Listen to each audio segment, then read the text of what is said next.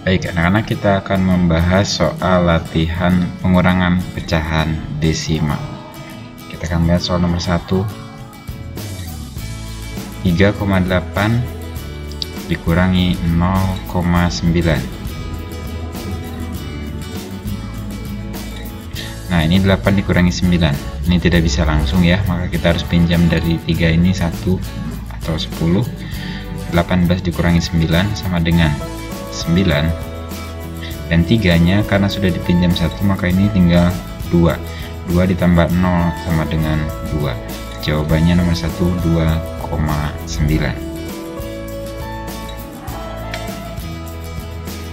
nomor 2 0,253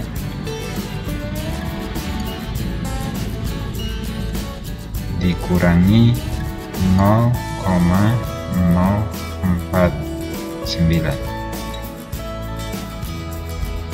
ini 3 dikurangi 9 itu tidak bisa maka harus pinjam satu dari depan. Sehingga menjadi 13 13 dikurangi 9 sama dengan 4 ini 5 sudah dipinjam satu berarti tinggal 4 ya. 4 dikurangi 4 sama dengan 0 2 dikurangi 0 sama dengan 2 jadi jawabannya 0,204 atau 0,204 oke itu untuk nomor 2 nomor 3 0,197 dikurangi 0,058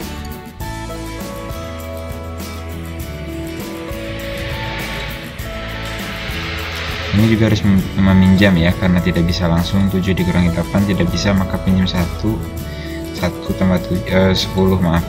17 dikurangi 8 sama dengan 9 ini 9 sudah dipinjam satu tadi sehingga tinggal 8 8 dikurangi 5 sama dengan 3 1 dikurangi 0 sama dengan 1 jadi jawabannya adalah 0,139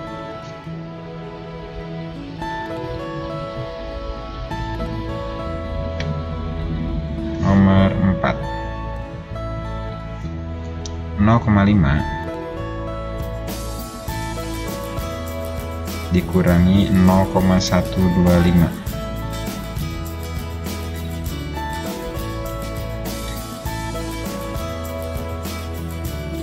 Nah ini kita lihat 0,5 dikurangi 0,125 Seperti dalam penjelasan materi sebelumnya Jika ada angka seperti ini maka kita bisa menambahkan angka 0 di sini supaya supaya menjadi sama ya. Jadi e, pecahan 3 desimal supaya sama. Nah baru kita kurangi. 0 kurangi 5 tidak bisa. Maka pinjem dari depannya. Pinjem 1 sehingga hasilnya 10 10 dikurangi 5 sama dengan 5 ini juga 0 0 nya minjem 1 dari sini ya sehingga jadi 10 tapi tadi ini sudah dipinjam satu. Sehingga ini tinggal 9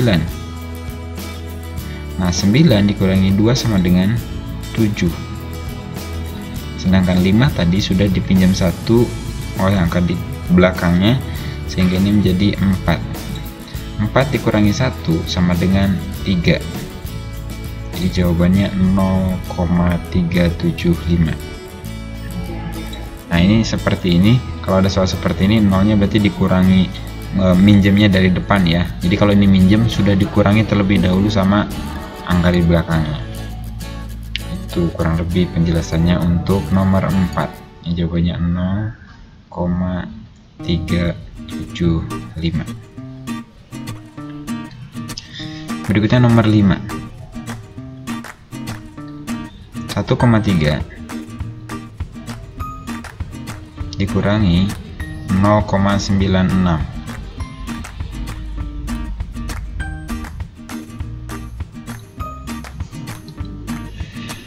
ini kita tambahkan 0 ya supaya sama supaya tidak bingung juga boleh ditambahkan 0 untuk membuat menjadi pecahan dua desimal. 0 dikurangi 6 itu tidak bisa. Maka kita pinjam dari depan sehingga menjadi 10 10 dikurangi 6 sama dengan 4 nah ini 3 3 sudah dipinjam satu berarti ini tinggal 2 2 dikurangi 9 itu tidak bisa maka pinjam dari depan sehingga menjadi 12 12 dikurangi 9 sama dengan 3 koma ini satu sudah dipinjam tadi ke belakang ya jadi menjadi 0 maka jawabannya adalah 0,34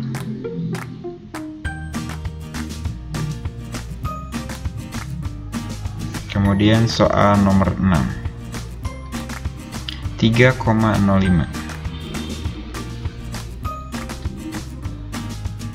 dikurangi 1,347 1,347 7 uh, 0 tidak bisa ini 0 ya. 0 tidak bisa dikurangi 7 sehingga kita harus pinjam dari depannya sehingga di sini menjadi 10 10 kurangi 7 sama dengan 3 ini sudah dipinjam satu berarti tinggal 4 4 kurangi 4 sama dengan 0 ini 0 kurangi 3 tidak bisa maka kita pinjam dari depannya sehingga jadi 10 10 dikurangi 3 sama dengan 7 tiganya sudah dipinjam satu sama angka sebelumnya jadi tinggal 2 2 dikurangi 1 sama dengan 1 maka jawabannya adalah 1,703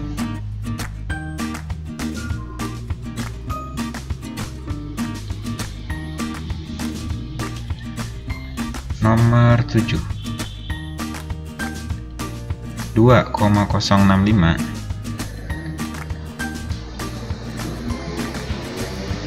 dikurangi 0,52 0,52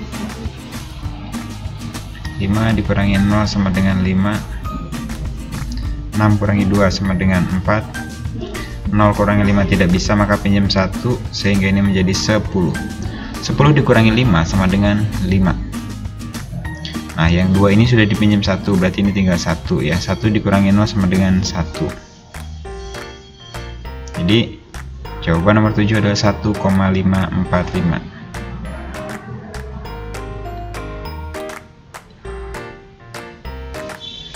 8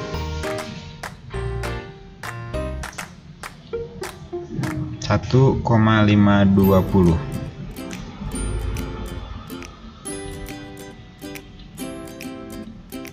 dikurangi 0,71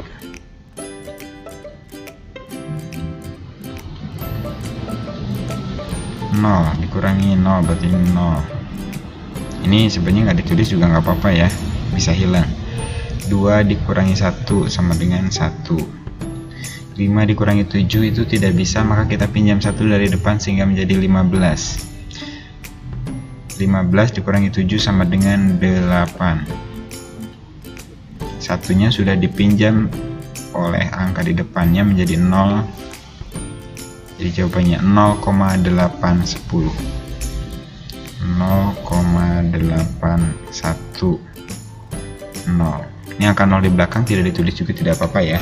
Jadi jawabannya 0,81 itu juga sudah betul. Nomor 9 1,225 dikurangi 0,03 5 dikurangi 0 sama dengan 5 2 dikurangi 3 itu tidak bisa maka kita pinjam satu dari depannya sehingga menjadi 12 12 kurangi 3 sama dengan 9 ini udah tinggal 1 1 tambah 0 sama dengan 1 eh maaf 1 dikurangi 0 sama dengan 1 dan ini 1 dikurangi 0 sama dengan 1 maka jawabannya adalah 1,195 terakhir nomor 10 0,956 0,956 dikurangi 0,817